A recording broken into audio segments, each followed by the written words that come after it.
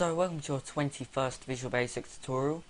And in this tutorial I'm going to be teaching you how to use the third type of, of loop which is the do until loop. And what this is going to do is it's very similar to what we did before except it's going to keep on repeating something and until and we can set what that's going to be until. So until the variable equals 5 or until anything really. So just put in a button and we're going to get this uh, program to do exactly what we did in the previous two tutorials by the way.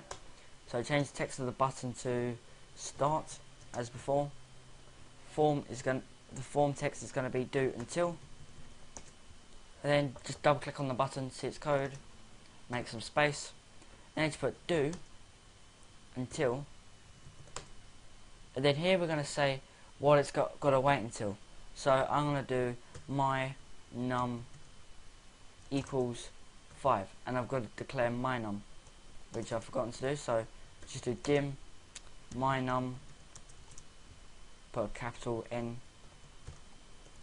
Dim my num equals as sorry integer equal to 0 so we're going to create a integer as a variable uh, which is going to be equal to 0 so it should put loop automatically when you press enter there. And here we're just going to put message box dot show and my num colon space then put the and sign my num. So that plus and that is going to be shown in the message box. And then on the next line we're just going to do my num equals my num plus 1 so it's going to take whatever my num is at the moment and um, add my num plus 1 to it. So now run this.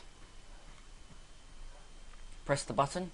My num is 0, 1, 2, 3, 4 and 5. Uh, sorry, 5 doesn't go. Because we're saying when it's 5 then don't do it. So do until 5. So basically that's saying don't do it when it's 5. So thank you for watching this tutorial. Don't forget to comment, rate and subscribe. And I'll see you in the next tutorial.